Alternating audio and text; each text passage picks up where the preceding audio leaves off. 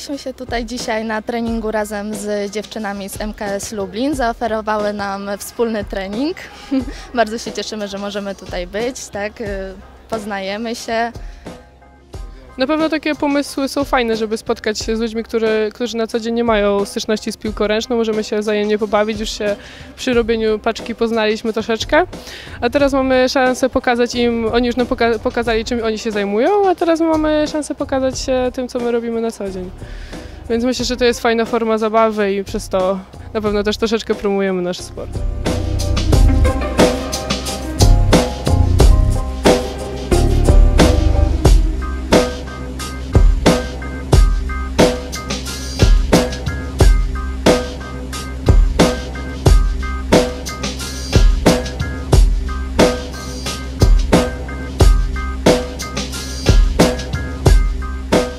Cieszymy się, że dziewczyny wspierają szlachetną paczkę, że angażują się również y, w takie rzeczy pozasportowe, prawda? I, i że chcą nam pomóc. y, Integrują się z nami, że bardzo mocno nas wspierają.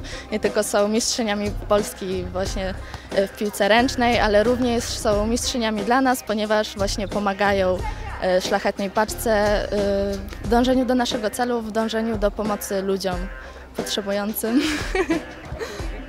Z, z całą drużyną zebrałyśmy fundusze, żeby wspomóc jedną rodzinę. E, Były tam e, różne najpotrzebniejsze rzeczy, takie jak pralka, ubrania, rzeczy niezbędne do wyżywienia długoterminowe. I przy wręczaniu tej paczki rodzina była w niebo wzięta, nie wierzyła po prostu, że coś takiego ich spotkało, więc sądzę, że każdy z nas mógłby się w taką akcję zaangażować i każdy pomóc przynajmniej tyle, ile potrafi, bo jeżeli każdy z nas zrobi taki gest, to na pewno wszyscy będą szczęśliwsi. Na pewno my w każde akcje charytatywne, w których możemy komuś pomóc, angażujemy się bardzo chętnie. E, Świadomość tego, że możemy sprawić, że ktoś będzie się czuł e, radosny i jego marzenia się spełniają, jest naprawdę super.